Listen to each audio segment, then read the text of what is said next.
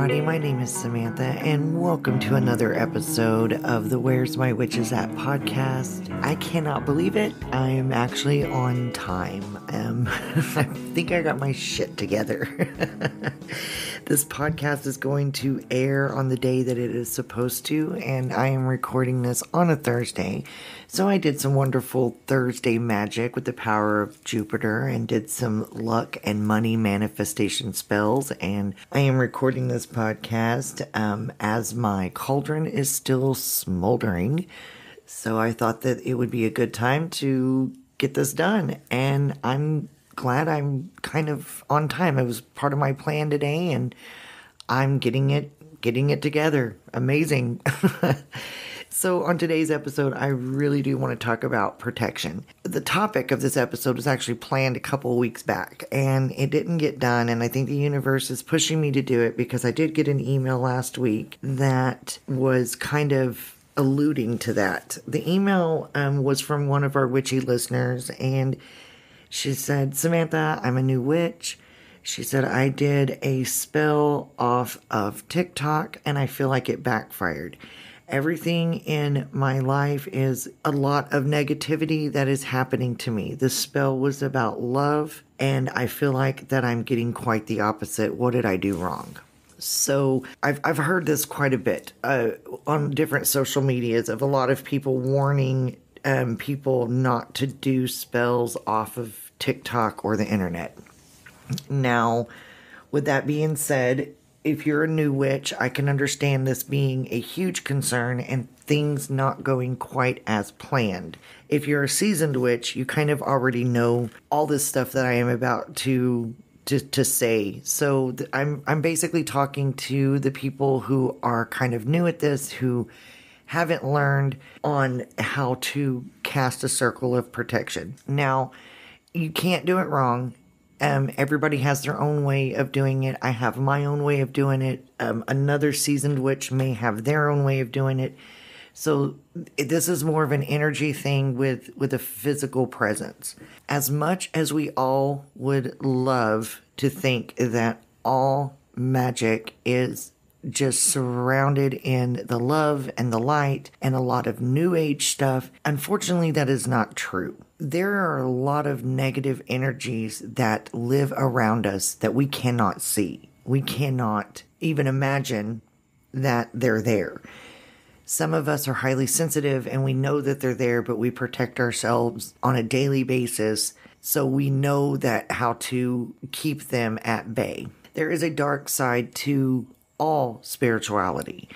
And I feel like that a lot of people have gotten caught up in this love and light thing and this all these positive interactions and all these positive spells. And in reality, you could do the most positive spell in the world and something negative could creep in and really cause it to go completely haywire and backfire. So it is important to protect your space protect your your tools that you're working with protect yourself i do this with smoke and my own energy. I literally walk in a clockwise motion, and when I am done with my spell, I walk in a counterclockwise motion. Now, I have not as I'm I just did a spell, I have not unlocked that circle yet because I'm going to do this podcast and I figured I just was going to keep that circle of protection just kind of still flowing because I'm in my own room and I don't want anything negative to still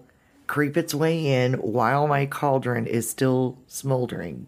I, it's a thing with me. It's I know it might sound corny or kooky, but that is how it is. So, anytime you do a spell, anytime you do a ritual, you should always do a circle of protection. Now, I do the walk. I will walk the circle. you consult the circle. I do mine with smoke. You do not actually have to do that. You could actually say, draw the circle. And while you're drawing that circle, say in a repeated motion, just a circle over and over and over, just keep tracing the circle. You can do that. And while you're doing that, you can literally imagine in your energy that everything around you is protected, that there is an invisible barrier that no person, no thing, no, nothing paranormal, nothing negative that nothing can penetrate, nothing can cross. It is a barrier, it is a, a shield. You can do that while you're drawing the circle. A lot of people I have seen will take a small saucer plate and line it with salt, Himalayan salt, black salt, whatever, and actually draw that circle in that salt. So I've seen it done with pepper. Most commonly, it's done with smoke. I've seen it done with water. The whole idea is that before you do anything, you draw this protection. You say out loud, nothing or no one can harm me. Nothing or no one is allowed in my circle unless I say. And if you invite spirit guides or deities into your circle, just always remember to undo that circle so you're not locking those deities and spirit guides in. I feel like that a lot of people they're doing all these spells on from TikTok and all these TikTok spells are just wonderful and you know you're you're trusting this person that you're seeing online doing these spells. Everybody should research anything why are they using these herbs? Why are they using that color of candle? Why are they saying these words? You need to research that stuff. If you are new to witchcraft or any type of spirituality in general, you should always research the narrative and the wording that you're doing, and you should not do anything that does not feel comfortable with you. So, if you want to do a love spell and you've got your red candle and your rose petals and your rose water and all this beautiful stuff and you're going to write your your incantation with a pink pen and all these things be sure that it feels right to you and be sure that there is protections in place because you could do the most beautiful love spell in the world and something on the edge that is negative will get in could get in it, it's not always a, a guarantee that it'll happen, but it could get in and it could just mess things up. For the listener that wrote in, it was a love spell between her and her partner, and now they're fighting all the time. And my suggestion to her was it wasn't the spell on TikTok. There, there, there was obviously something negative lingering on the edges of her world, and that took that opportunity that when she opened that up, because you are opening something up. It's not like it's a dark realm or anything, but you are opening something up. You're opening up your mind, you're opening up your heart. When you do any kind of spell work or prayer work, you are vulnerable because you're giving yourself to the universe. So, whatever was lingering in the surface of her world decided to take that opportunity to come in. So, I gave her some tips on what to do to kind of undo all this. Also, the protection is for, say, other witches who are trying to hex you. If there is a hex, and I don't really think people do this, but I know that they probably do but if somebody has been giving you the evil eye, or another witch is trying to hex you, or whatever is happening here, you could be self protected and unaware of all these things because you're not giving that negativity power. But as soon as you open yourself up to a certain amount of vulnerability, those negative energies can creep in. So you really should do all the protection that you can. I know that there is a lot of um, stuff on TikTok, especially.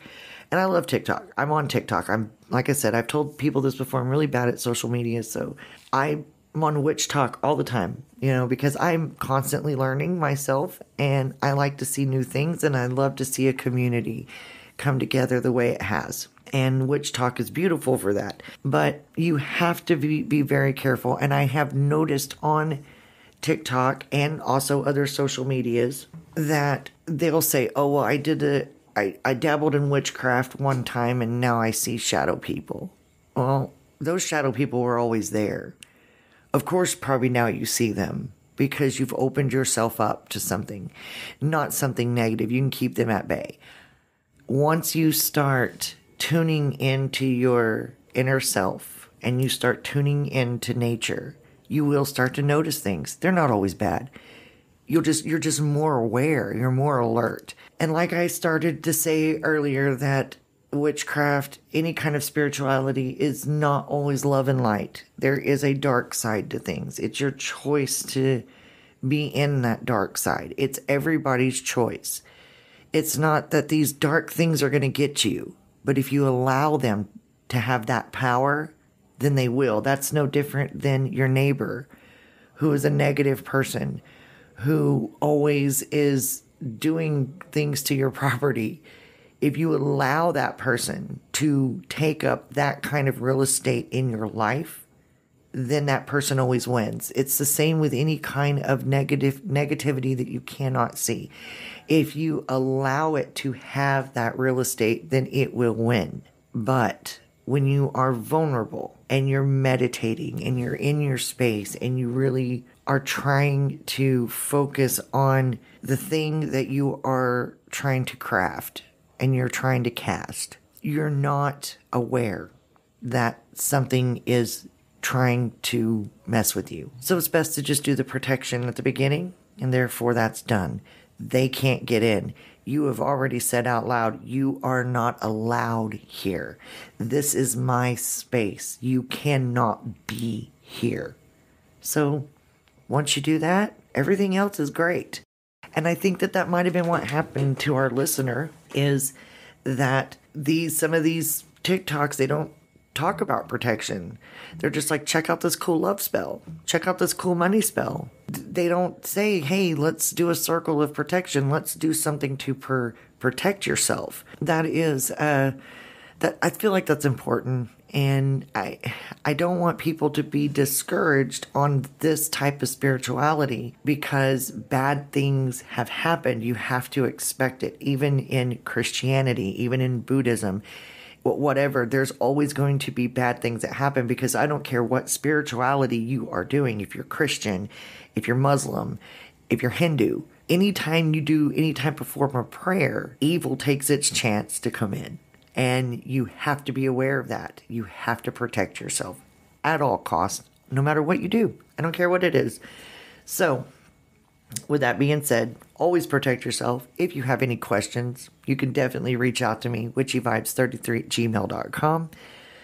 So, I'm going to move on to social media stuff, my social media stuff. As all of you know, I have started a Discord server. And I had uh, two new people join, and they joined almost a week before I even noticed it. And I felt really sad. Like, there's only a couple people in this Discord server, and I really want it to be a really awesome community. So, I do want to thank the two people that did join my server on February the 24th and 25th.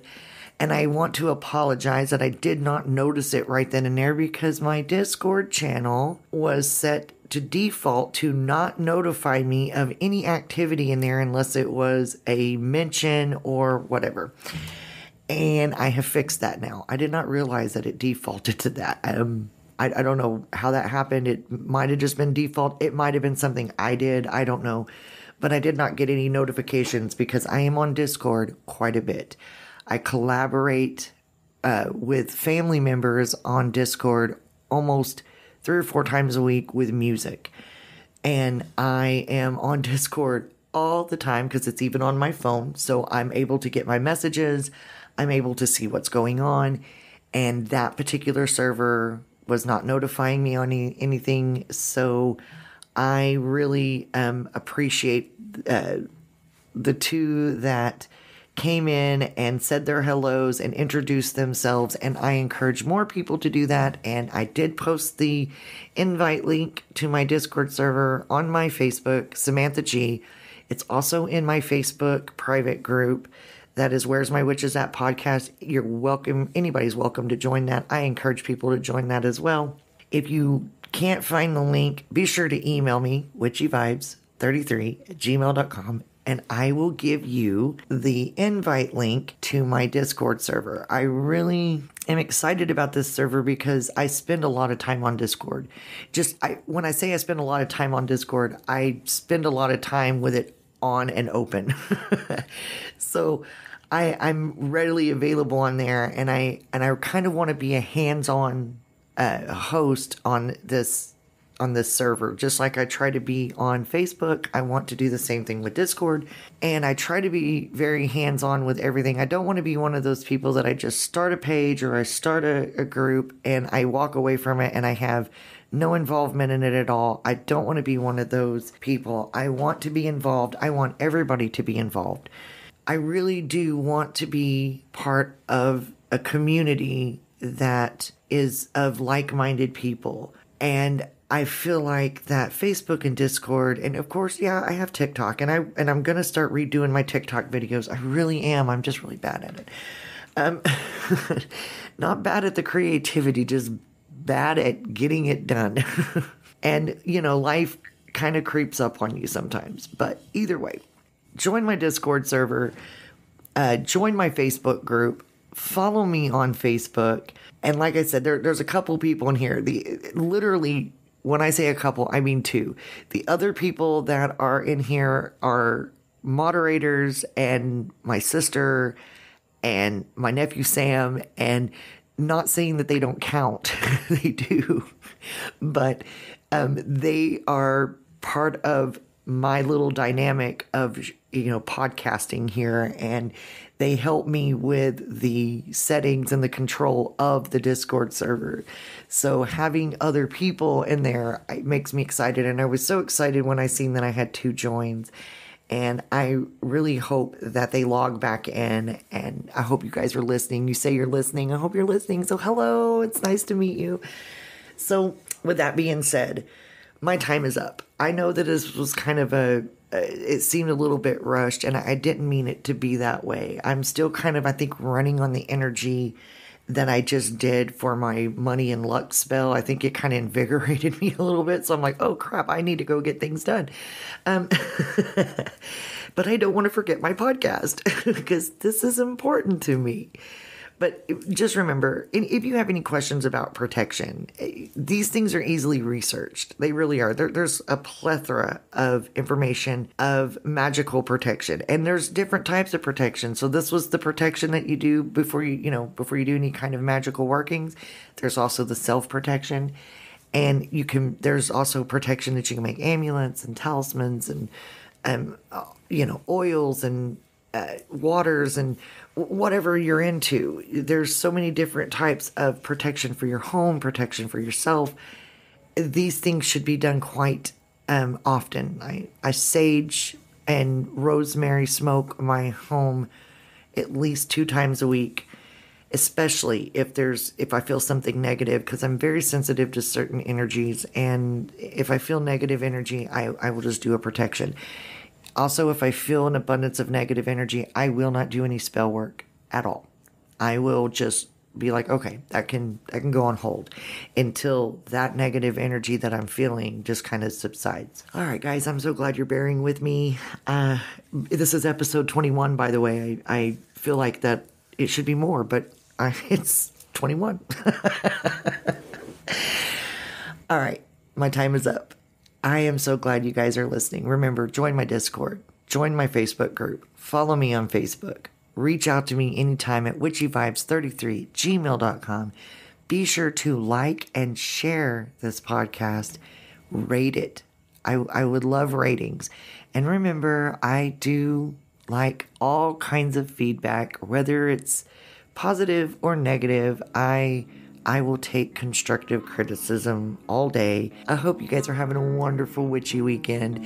And on next week's episode, we are going to talk about the spring equinox, which is Ostara. And that should be a fun episode because it's on the plan.